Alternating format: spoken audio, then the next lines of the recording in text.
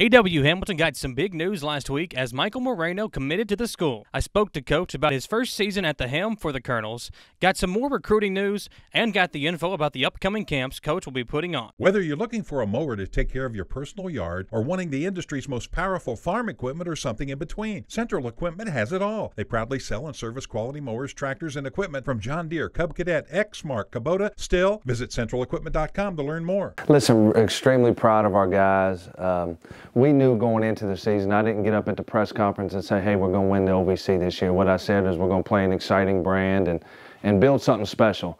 And uh, I was proud of what we did. They were 13th in the country in scoring.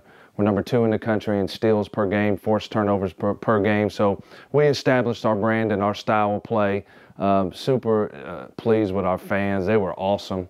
You know, we, we broke an attendance record, single game attendance record twice this year. So our fans really got behind us. And we ended up finishing the year number two in the conference in attendance. So we built something and we're very excited going forward.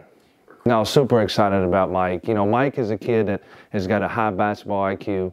Um, and he's been a winner at Scott County and obviously played for a tremendous coach, maybe one of the best coaches ever to coach in high school basketball history of the game. So uh, very excited about Mike and not just because he's a great player, but he's also a great person. So he brings a lot of value to our program. Kurt Lewis, who's from Louisville, who's a tremendous talent. Uh, love Kurt Lewis. Our fans are going to absolutely love him. He's a big guard, can make plays off the bounce, and you know he just just a tremendous upside with with Kurt. And then we got a grad transfer, Tyrone Taylor from UNC Wilmington, and then we got a point guard, you know, that can really make shots from Garden City Community College. Uh, so really excited about our class, and we're going to still add one more guy.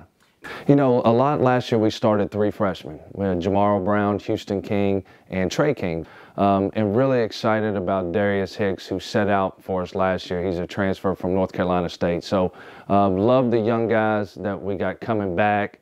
Um, and then we got some experience where, you know, you look at Jaquez Hobbs and some other guys. So uh, really excited about the talent of our team.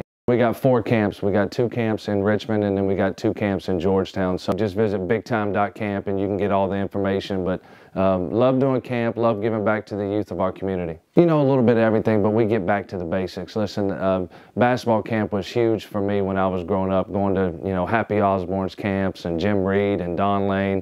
Look, just working on the fundamentals of the game and just showing the kids how much fun basketball can be. And uh, so we have a lot of fun at camp and we look forward to it.